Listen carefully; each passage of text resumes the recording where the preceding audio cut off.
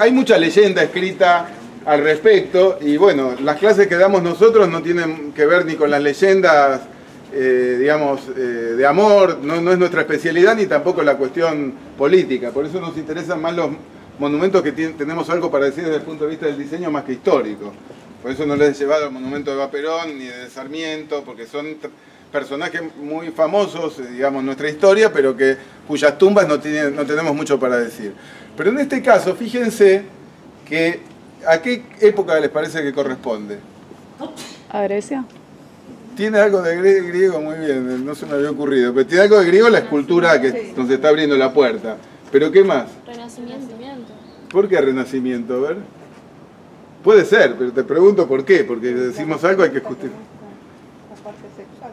Eh, hay, muy bien, hay, eh, justamente la anatomía humana está detrás del textil. Pero hay un movimiento que no tienen por qué saberlo porque no lo hemos estudiado, que es de fin del siglo XIX, el Art que el hombre se cansó de imitar exclusivamente el pasado y empezó a tomar en cuenta, a tomar como modelo a la naturaleza. Entonces empezó a tomar como fuente de inspiración a las formas vegetales. Ese fue el Art. El Art que a fin del siglo XIX y principio del siglo XX en nuestra ciudad fue, fue eh, muy importante. Entonces fíjense las formas inspiradas en la naturaleza y como bien señalaron ustedes, también tenemos una escultura clásica. Pero lo que más se privilegia acá son las formas vegetales. Eso es lo que nos va a traer el Art Nouveau. La ruptura con ese pasado en donde lo único que imitábamos era lo griego, lo romano, lo medieval, y poner el ojo en la naturaleza. Eso es lo que nos va a traer el Art la curva.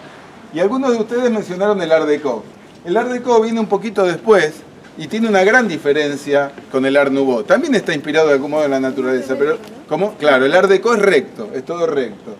Se dice que está más inspirado en los minerales o en las formas rectilíneas. En cambio el Art Nouveau es curvo.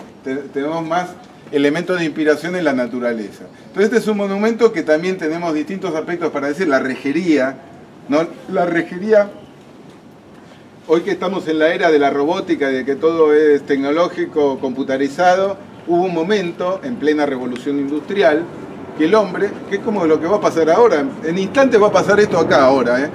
el hombre en la revolución industrial se dio cuenta que había que volver también a la artesanía, porque hacía más humana la civilización.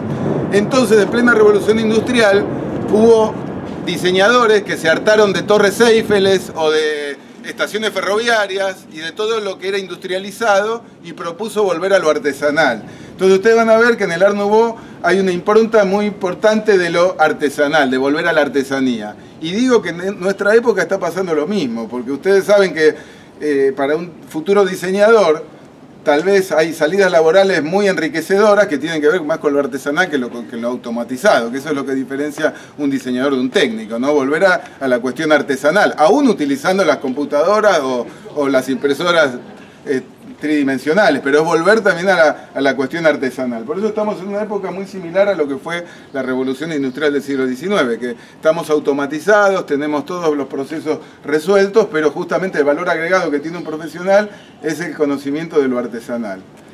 Bueno, ahora nos queda una estación. Hola. ¿Qué tal? ¿Cómo estás? Se me hizo tarde, pero... Bueno, no te perdí.